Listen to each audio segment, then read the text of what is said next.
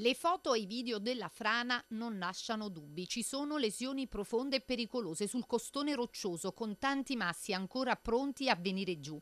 Dopo l'amara sorpresa di ieri dall'ispezione dei rocciatori e dei droni, oggi si registra una prima buona notizia. La Regione Campania ha stanziato i primi 150.000 euro per la messa in sicurezza. Alle 9 in prefettura domani ci sarà una riunione operativa proprio per fare un punto della situazione, mentre sul luogo della frana ci sarà un esperto della regione per compiere un sopralluogo. Eh, proprio stamattina abbiamo saputo che la regione ha stanziato 150.000 euro per eh, il primo intervento, quello di somma urgenza, eh, che noi andiamo a fare sul territorio di Maiori.